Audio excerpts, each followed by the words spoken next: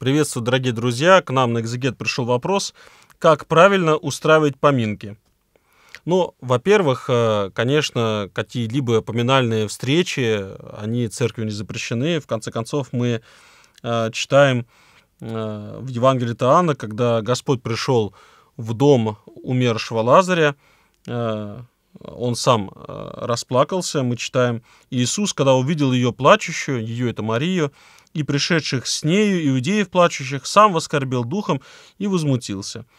Да, то есть его внутренний дух, да, тоже он пришел в такое некое беспокойное состояние, то есть, ну, в положительном смысле, да, тоже был расстроен.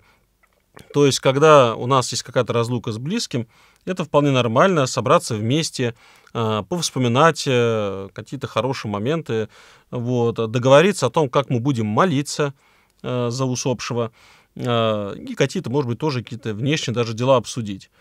Вот как неправильно, это когда мы превращаем поминки в некий повод для того, чтобы выпить э, алкоголя, э, чревогодие и так далее.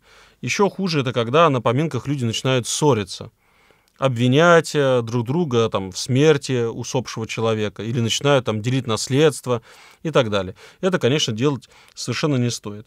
Но при этом хочу заметить, что церковь почти никогда не вмешивается в подобные внешние вопросы.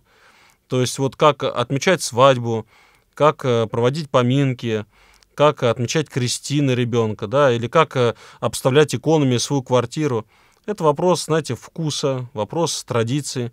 Так что вы постарайтесь э, поминки устроить по совести, чтобы, с одной стороны, да, и память усопшего была как-то вот почтена, и чтобы вы могли договориться по поводу там молитвы, кто, когда, что это будет делать. Но главное, чтобы после поминок у вас никто не умер, из-за каких-то скандалов и раздоров, и что все сохранили себя в мире.